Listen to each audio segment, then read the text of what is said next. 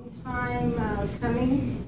You're standing and sitting in a building that's hundred percent paid for.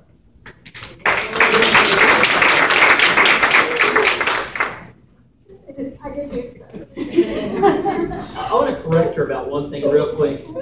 We are all replaceable. Denise is not. Denise is And not, I think that oftentimes we don't give, you know, even though we did a lot of work to make this happen, Denise is the one that had the dream and the vision for this to take place. And if she had not dreamed this, we would have not been able to find the resources and, and you just, folks, you cannot imagine how much work and how many grants and how many hours Denise has worked on her own time and doing her double duty. And, uh, she's oftentimes, I think, uh, we walk into a building, we don't realize what it took to get to this place. But it took a lot of work. I want y'all to realize it said groundbreaking was October fourth. Did y'all catch that? And then the grand opening. There's a joke between me and Earl. I said it was gonna be through in January or the first of February. And Earl says, maybe by Pioneer Weekend. And it really, we really didn't plan Pioneer Weekend, it just had to be Yes. here, because the last road just came. And the concrete came Just in, and the driveways came in. But we have had so much fun, and the reason we have had fun, I want y'all to look at this person and hold that. See. And, Oh, and look at this person.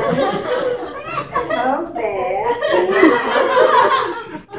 And this was the funniest thing of all. If you never built a house with, this was a big house. You go through and you put blue Oh. tape where the builder needs to fix them. The the painter loves it. We had five thousand blue tape. Everybody walked in, we thought, what is it? It took her all day. We had to go to the store twice, but I want you to know they came and fixed Yes, everything sure blue did. I didn't, I didn't realize that happened, but I thought. They had to repaint the whole place. They really did mess up that bad. They, we didn't have lights at that time, and they sent the poor painter here, and it was cloudy. And no lights. Mean, sure enough. But honestly, this is my favorite picture when that slat wall came, and we all said, look, we're almost done.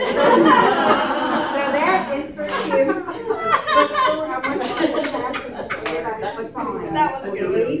But for your family tonight, Kim, this is what you've got to watch. Amanda has worked so hard. Thank you, man. And you, you will laugh because I know you're a humorous family, but this will top the cake. We didn't want to show it to them.